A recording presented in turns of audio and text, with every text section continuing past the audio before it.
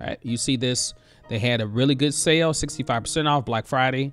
So this is where I got it from. And then I'm gonna go log in. All right, and then you'll see the download manager here. And of course, if you don't have the download manager already, you need to download that. That's what I already showed you. And then you go to my downloads, you will see the download manager here as well. But under paid downloads, you will also see all the things that I just showed you in the download manager. So down here, waveform 13, I can go to downloads and I can download it for Mac. I can download it for Windows. I can download it for Linux or Pi. All right. So I have already downloaded it for Windows. So it should be in my download folder. All right. So I'm going to go to downloads, bring that over. And then I'm going to go to downloads and you're going to see waveform version 13.20 up here. Now, this is what I'm not sure of. I'm not sure like if you have to download this particular version or if it just automatically upgrades 13 period. So like when I go to waveform 13, is it going to show the pro version? That's what I'm wondering.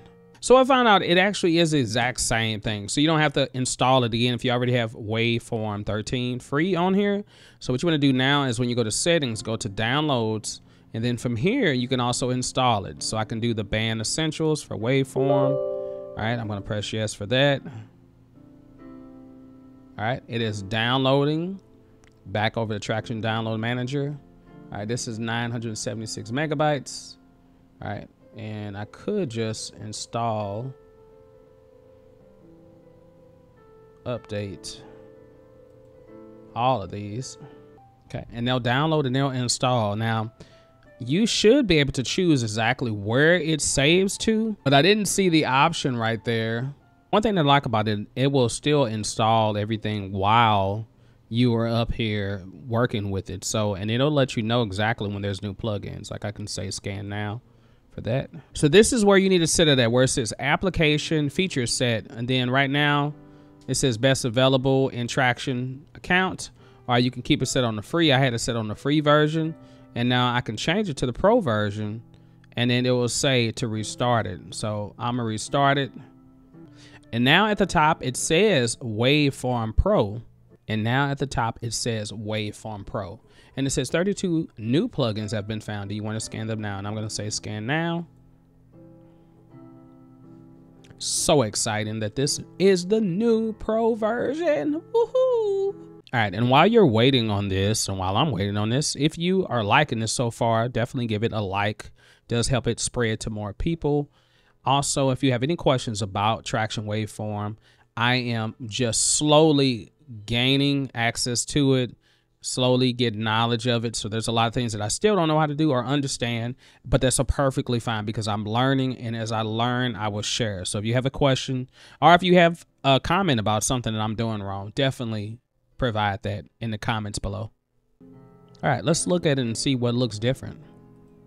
Okay, let's use a lighter theme, default high contrast.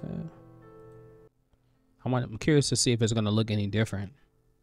Oh, wow. That does look a little different. Yeah, it's definitely a bit different. Some of the features down here at the bottom are different. Like, for instance, this was not there. Groove Doctor. Okay. We have, I don't know what this is. Scrub?